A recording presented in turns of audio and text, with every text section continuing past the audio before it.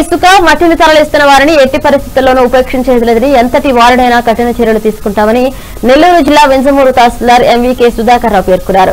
ఎలాంటి అనుమతులు లేకుండా అక్రమంగా రాత్రింబవళ్ళు గ్రావెల్తో తోడుతున్న ఒక జేసీబీ ఐదు ట్రాక్టర్లను తహసీల్దార్ ఎన్వీకే సుధాకర్ రావు తన సిబ్బందితో కలిసి దాడులు జరిపి స్వాధీనం చేసుకున్నారు. వాటిని స్థానిక పోలీస్ స్టేషన్లో అప్పగించారు. గతంలో అనేక రోజుల నుండి ఈ అక్రమ గ్రావెల్ రవాణా జరుగుతున్నప్పటికీ అధికారులు తనకేమీ తెలియనట్లున్నారు. కానీ శనివారం రాత్రి ఎవరో ఇచ్చిన సమాచారం మేరకు తహసీల్దార్ ఆకస్మికంగా దాడులు జరిపి అక్రమంగా మట్టిని తవ్వుతున్న ఒక జేసీబీని ఆ మట్టిని తరలిస్తున్న ఐదు ట్రాక్టర్లను అప్పటికప్పుడే స్వాధీనపరుచుకున్నారు. స్వాధీనం చేసుకున్న ట్రాక్టర్లు జేసీబీని స్థానిక పోలీస్ స్టేషన్లో స్వాధీనపరిచి వారిపై క్రిమినల్ కేసులు నమోదు చేయాలని మైనింగ్ శాఖ అధికారులకు పోలీస్ శాఖ అధికారులకు ఆయన తెలియజేశారు.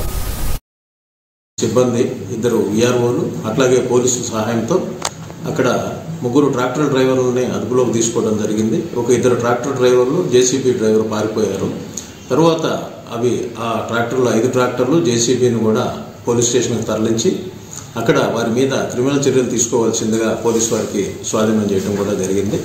కాబట్టి ఎవరైనా అక్రమంగా మట్టి ఇసుక తరలిస్తే మాత్రం వారి కఠిన చర్యలు తీసుకోవడం కూడా జరుగుతుంది. కాబట్టి అటువంటి చర్యలకు తావివ్వకుండా చక్కగా మనకి శాండ్ డిపో ఉన్నది. శాండ్ డిపో నుంచి వాళ్ళు తీసుకోవచ్చు. అట్లాగే వాళ్ళకి ఏదైనా గ్రావాలు కావాలంటే అనుమతించిన క్వారీ నుంచి వాళ్ళు సీనరైజ్ కట్టి వాళ్ళు గ్రావెల్ తరలించుకోవచ్చు.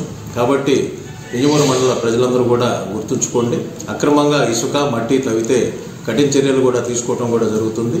అటువంటి క్రిమినల్ చర్యలకి గురి కావద్దని అందరికి కూడా తెలియజేస్తున్నాను. వారికి కావాల్సిన శాండ్ ప్రభుత్వ శాండ్ డిపో నుంచి పొందొచ్చు.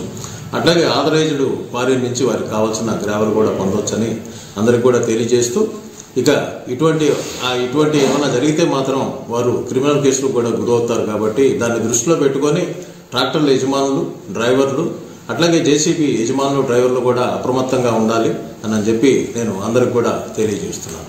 సార్ ఇప్పుడు ఇది సుమారు ఎన్ని రోజుల జరుగుతుంది సార్? అంటే మనకి ఒక రోజు మనకు సమాచారం వచ్చింది. ఏది మన ప్రెస్ వాళ్ళు వచ్చి ఇట్లా నల్ల మల్లపురాజు వాగులో జరుగుతుందండి అని చెప్పన్నారు. వెంటనే మన ఆర్ఐలను విఆర్ఓను అక్కడ పంపిస్తే అక్కడ ట్రాక్టర్లు కానీ జేసీబీలు కానీ లేవు. ఆ ప్రదేశాన్ని కూడా నేను కూడా పరిశీలన చేశాను. చేస్తే మట్టి తవ్విన ఆనవాళ్ళు ఉన్నాయి.